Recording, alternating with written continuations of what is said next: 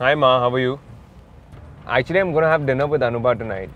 I really wish there was someone to keep you safe, beta. Don't worry, Ma. I have all my friends here, no? And also, Are you okay?